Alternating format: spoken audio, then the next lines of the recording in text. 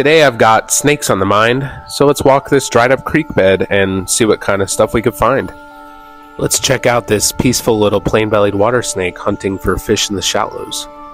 You can see here she's flattening out her body to appear more intimidating or even venomous, which is why many people confuse them with like cottonmouths, for example. They're also incredible swimmers, as you can see here.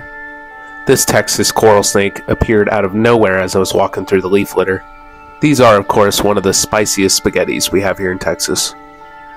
Just snagged this pretty little red striped ribbon snake out of a tree. These are typically found near water and will hunt fish and frogs and other amphibians. Here's another plain-bellied water snake. You can sometimes get away with not getting bit by these smaller ones. Here's a big wolf spider carrying her egg sac until the babies are ready to hatch and climb up onto her back so she can protect them. There's our first Texas spiny lizard of the day, just Carole Baskin catching some rays. One more big defense.